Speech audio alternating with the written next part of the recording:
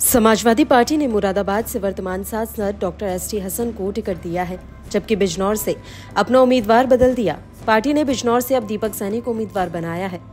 सपा की नई लिस्ट को मिला दें तो पार्टी की ओर से अब तक उम्मीदवारों की कुल पाँच लिस्ट सामने आ चुकी है। सपा की पहली लिस्ट 30 जनवरी को सामने आई थी। इसके बाद 19 फरवरी को दूसरी 20 फरवरी को तीसरी और 15 मार्च को चौथी सूची जारी की थी। अब 24 मार्च को पांचवी लिस्ट सामने आई है। इस तरह से देखें तो अखिलेश यादव की अगुवाई वाली समाजवादी पार्टी अब तक अड़तीस उम्मीदवारों की घोषणा कर चुकी है। समाजवादी पार्टी इंडिया का गठबंधन में शामिल है। ऐसे में सपा ने यूपी में कांग्रेस के लिए सत्रह सीटें छोड़ दी हैं। इस तरह से देखें तो समाजवादी पार्टी यूपी में इस बार तिरसठ सीटों पर चुनाव लड़ रही है। कांग्रेस के खाते में गई सत्रह सीटों में वाराणसी के साथ साथ अमेठी और रायबरेली की सीट भी शामिल है। कांग्रेस पार्टी ने वाराणसी, जो कि पीएम मोदी का संसदीय क्षेत्र है, वहाँ से यूपी कांग्रेस अध्यक्ष अजय राय को मैदान में उतारा है।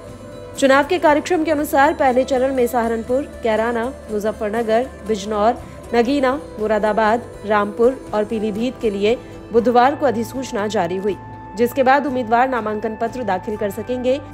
इन सीटों पर 19 अप्रैल को मतदान है। नामांकन पत्र दाखिल करने की अंतिम तिथि 27 मार्च है। वहीं सपा ने लोकसभा चुनावों को लेकर कहा कि देखिए, समाजवादी पार्टी इस बात को पहले ही कह चुकी है 2022 का विधानसभा चुनाव देख लीजिए।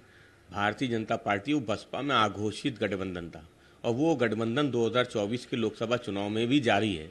जिस तरह से बसपा ने प्रत्याशी उतारे हैं, उन लोकसभा क्षेत्रों में जहाँ विपक्ष मज़बूत है उन क्षेत्रों में कैसे भारतीय जनता पार्टी को राजनीतिक लाभ पहुँचाया जा सके, कैसे वोट कटवा प्रत्याशी उन मैदान में उतारा जा सके, उसको ध्यान में रखते हुए बसपा ने अपनी लिस्ट जारी की है। समाजवादी पार्टी समझती है कि देश की जनता, वो बसपा और भाजपा के आघोषित गठबंधन को अब जान चुकी है। वो बसपा और भाजपा को वोट देने नहीं जा रही क्योंकि परिवर्तन जनता चाहती है, जनता किसान मजदूर नौजवान पे जवाब चाहती है, वो जवाब भारतीय जनता पार्टी के पास नहीं है। उनके साथ सहयोग कर रहे दल हों, उनके गठबंधन में जो दल हों, उन सब के खिलाफ जनता वोट डालेगी।